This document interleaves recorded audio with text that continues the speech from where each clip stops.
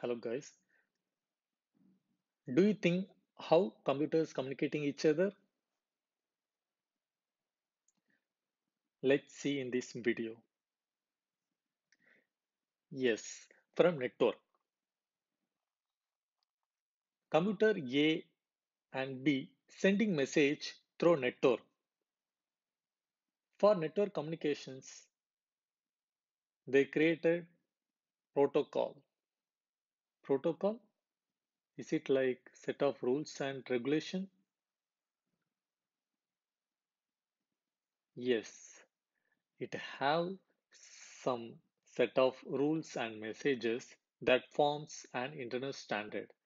Mainly, it have two types, TCP/IP and FTP. Here we are going to see about TCP/IP layers.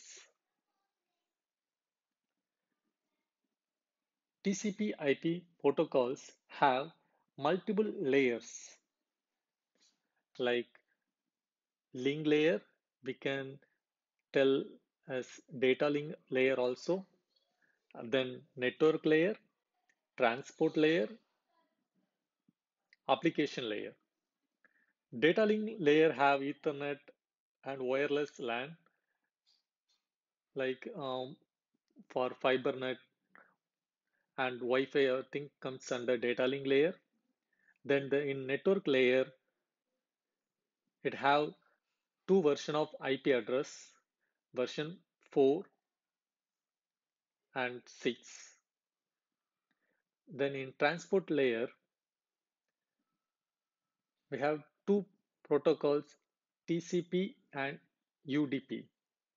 The topmost layer is application layer.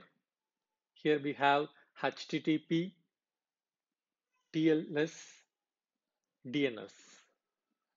We are not going to see this each type. Mainly we, we will see about the layers. Yeah, we already seen the layers, application layer, transport layer, network layers, data link layer, physical layer. Physical layer means it's like a hardware we are going to use for this communications like wires, that all. This TCP IP protocols comes under like transport layer, it comes TCP, then in network layer it's come IP.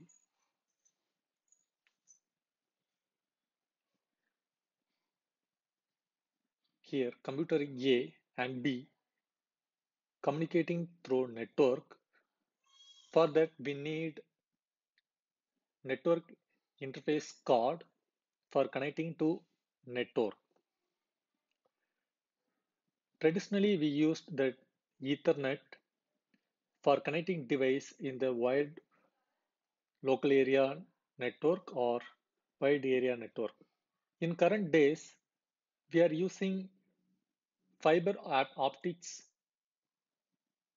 How to know source and destination network path. That means if we need to send one message from source to destinations, we need the destination path. How to know that? Yes, from network address. We seen already it's have two version 4 and 6. 4 have 32 bit, 6 have 128 bit. 128 bit, bit is a recent versions we are using for video streaming mainly. This IP address comes under the network layer. We are not going to see elaborate about this IP address. We need to know like this IP address comes under network layer and also this IP address have the source and destination path. Also in the network layer, the data are also attached into this IP.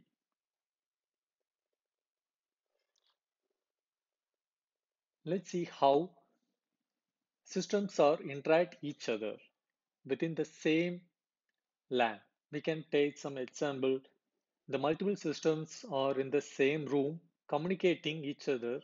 By using the switch. Switch comes under data link layer. Then we are communicating each system with help of data link layer through network layer. Switch is responsible to move data, we can say frames, from one node to another. Frames have source and destination details. That means that IP address. Router is required if source and destinations systems are in different network. Let's see how it's work.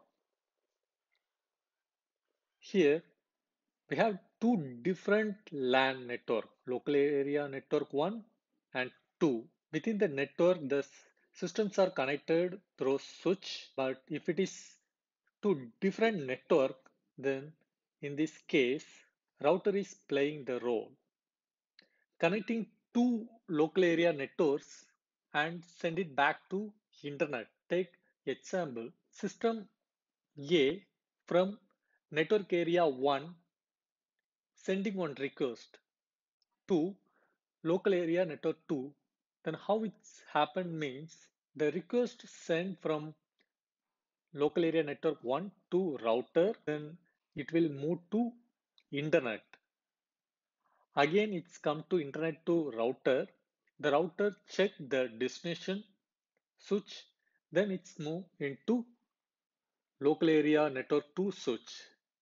Then again it's find that corresponding IP address for the system then it's send the response to that particular system. The router has been used to connect to network system. Router is network layer but we can also consider it is physical layer since it is an object. Let's see elaborate. Sender send message. The message is responsible in transport layer, the transport layer send a message in the form of packets. Then in network layer, it's create packet with header and tailer. We call as frames. Also, we can call Ethernet frames.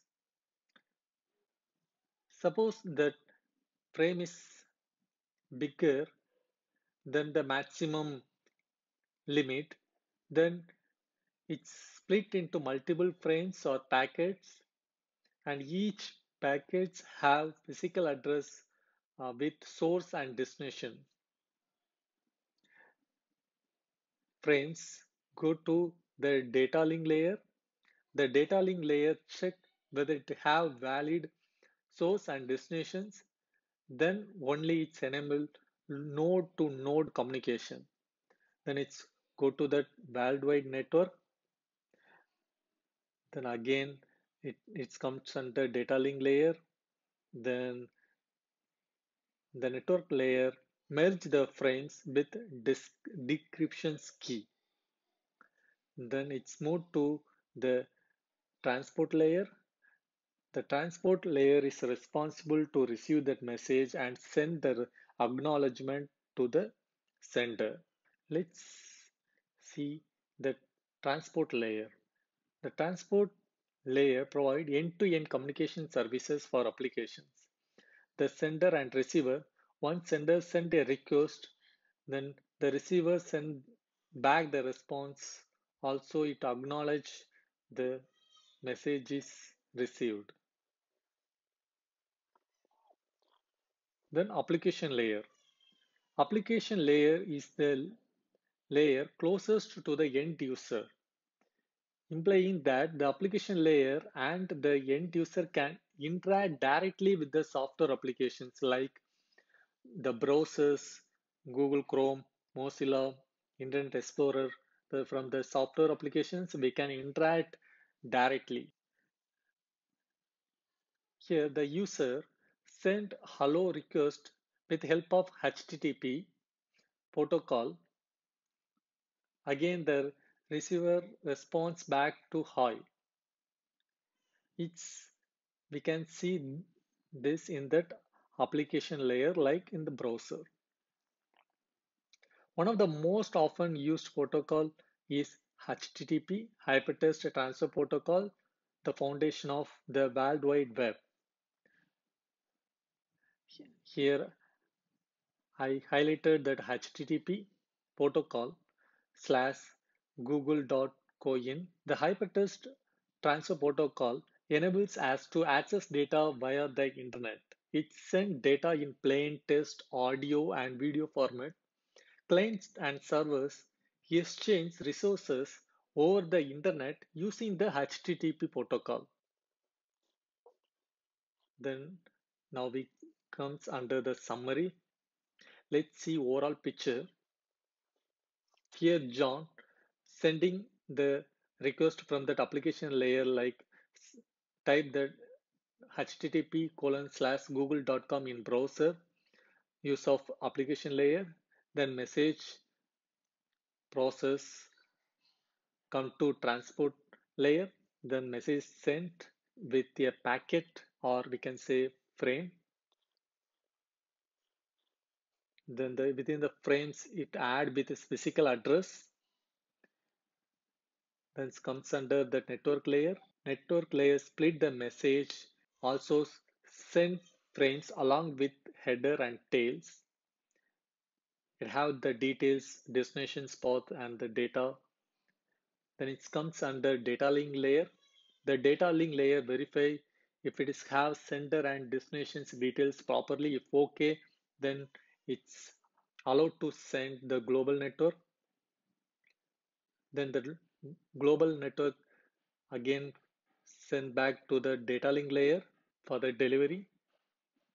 Then the data link layer check the destinations path then allow to the network layer.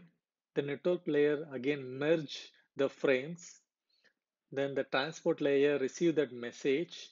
Also it will send the acknowledgement to the sender, then it's sent to the receiver, google.com, an application layer.